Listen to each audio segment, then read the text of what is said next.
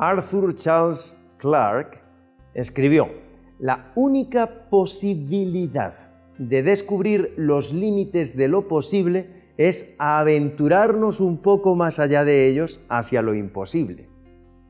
Según la ley de Peters, todo ser humano es capaz hasta que alcanza su nivel de incompetencia.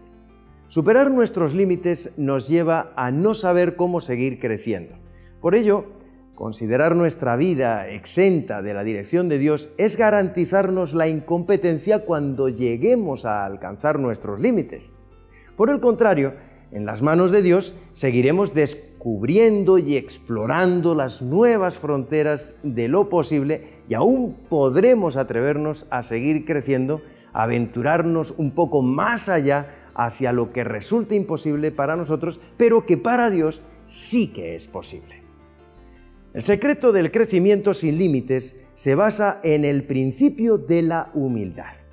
A nuestra llegada al nivel de lo inexplorado, no podemos alardear de lo que ya sabemos y tratar de aplicarlo inmediatamente, sino reconocer que estamos en el piso de nuestro próximo nivel y que nada de lo que sabemos es aplicable inicialmente.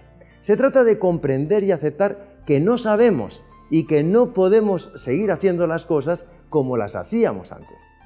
Alcanzar nuestro techo no es malo si somos lo suficientemente humildes como para comprender que estamos comenzando un nuevo nivel y que somos novatos en esta nueva realidad. Nuestro techo es el puente para seguir creciendo.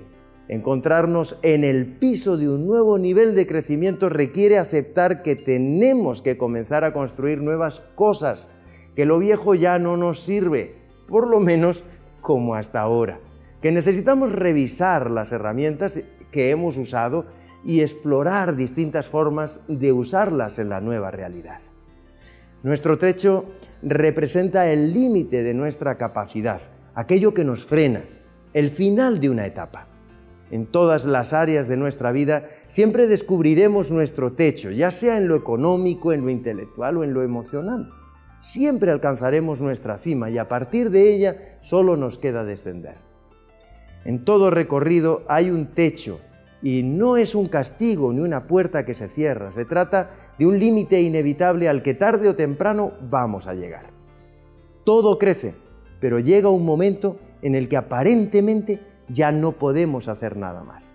Sin embargo, detrás de ese límite y por encima de ese techo, Dios nos ofrece la oportunidad de seguir creciendo, de explorar nuevas cimas. Y recuerda que hoy puede ser un gran día. Plantéatelo así.